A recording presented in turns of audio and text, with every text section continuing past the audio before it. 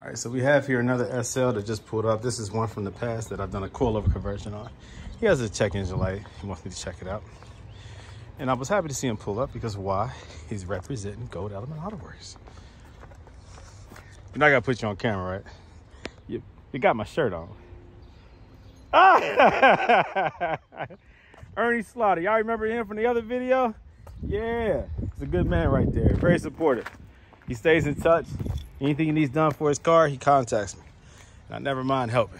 You know who this guy is. Yeah, this is the guy that makes everything happen. Man, get out of here. Anyways, so yeah, Ernie, this is the guy that makes everything happen. Customers like this who appreciate me. I very uh, respect, have a lot of respect for Gold Element. However, they do have a reasonable price, but they do charge a specific fee. All right, that video is over with. Yeah, man, nice car right here, man. See, nobody want to pay me, man. They want all my service and love, but don't want to pay me. Sad, man. I need to find some new customers. All right, yeah, here we go. No, but very good guy right here, man. Very good guy, very supportive, man. And this guy too, he alright. I'm teaching him how to take his uh, side lights out of his uh, front fender. Uh, oh yeah, yeah, yeah.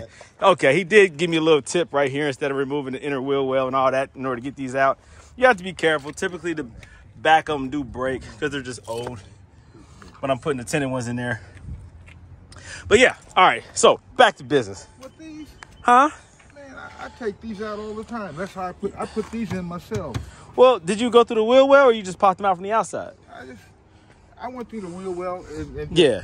yeah. Yeah, that's the proper way of doing it. Cause um because you can break them if you just try to pop them from the outside. I got some plastic tools here that helps, but if you use like a flathead screwdriver, something like that, of course you'll you'll well, scratch them up. I use these fingers, man. Yeah, man. Yeah. Oh yeah, he's a musician also, Corey. Oh yeah. Oh, he has a good like some real good music. Okay. He's on YouTube and everything. Hey, get what's your YouTube channel so these people can know? Oh, you don't want to talk about it?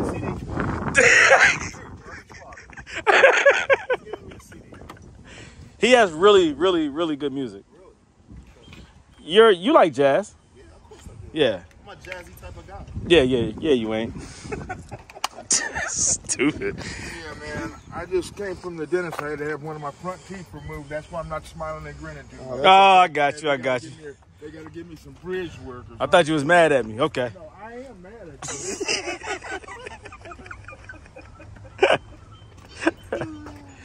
oh gosh. Thank you, man. I appreciate you. All right, let me see. I want to put LEDs in here instead of the regular ones, but I better know what I'm doing because I do not, I do not want to pull these back out again. So. He on here like he Kenny G or something. Yeah, man. Yeah, man. That's what's up, man. Here's here's my CD. Oh here's gosh. The CD. This is him. That's real right music here. right there. Real man. music. And then here's the back of it. Yeah. So maybe some of the songs and everything. Smooth, man. Turn it to the front again. Okay. On YouTube. It's on YouTube. All right. Check him out. Let me see the side. Got a name on the side of the thing right there too. Yeah. There you go. Here we go. Here. Ernie Slot. And then here. Chilling. Go pick this up in stores, man. There you go. Good music, guys. Good music. Check them out. Thank you. Yeah, man. Yeah, man.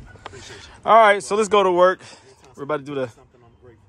Oh, man, shut up. Anyways, iCarSoft scanner. Check light. I'm about to see what's happening. Thanks for watching. Peace out.